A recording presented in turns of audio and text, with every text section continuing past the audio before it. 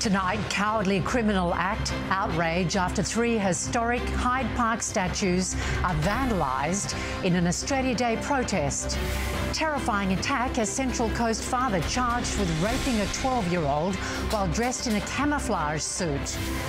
Harvey hits hard, the most powerful hurricane in a decade smashes Texas. A new low, the organised crime groups targeting children's play centres. Caught on camera the moment armed robbers threaten a shopkeeper with a crowbar. And gearing up for a big fight, counting down to the boxing night of the year. This is 7 News with Ann Sanders. Good evening. The angry debate over Australia Day has hit a new low, sparking outrage from the Prime Minister down.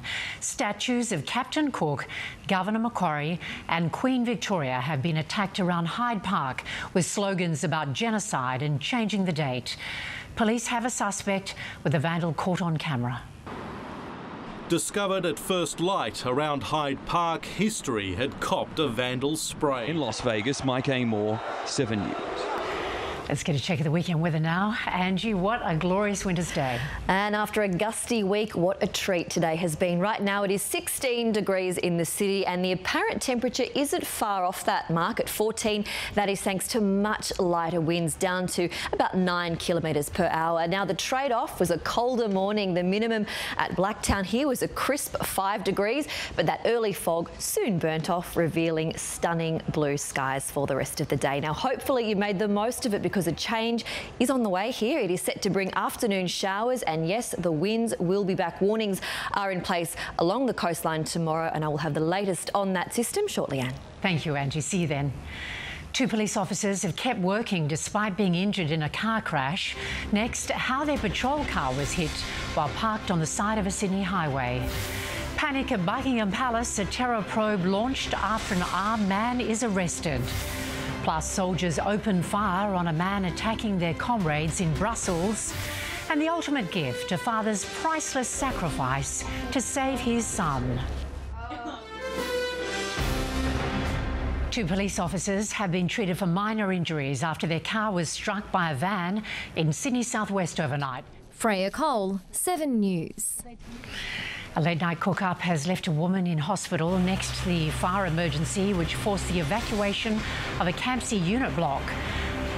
Plus, would you trust a driverless truck? The bold plan to reduce pollution in the UK. Veterans honour their Kokoda mates 75 years on. And it's been a stunning Saturday, but expect gusty conditions to pick up again tomorrow. Details next. A woman has been injured in a fire in a Campsie unit. The fire started in the kitchen of a second floor unit around 10.45 last night. The building was evacuated and the fire quickly contained. One resident was treated for minor burns and smoke inhalation.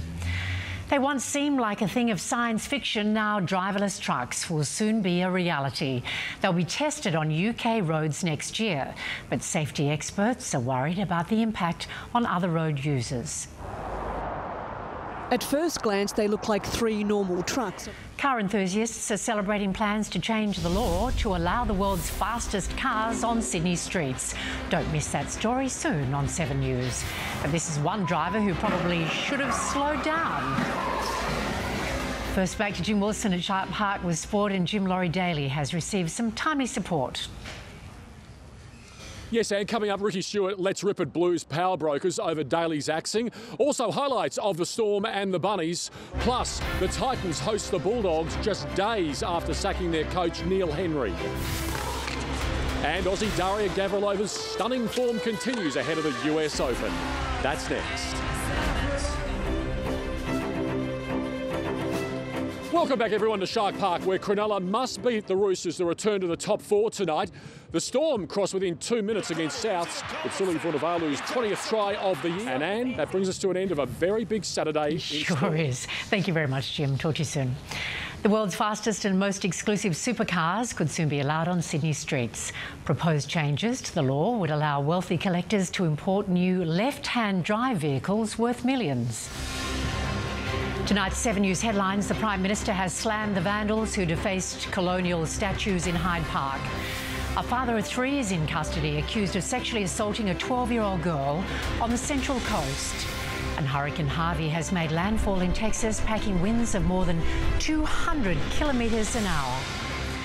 It's always a good idea to check your rear vision mirror, and this next driver will be wishing he did. Tops generally in the high teens.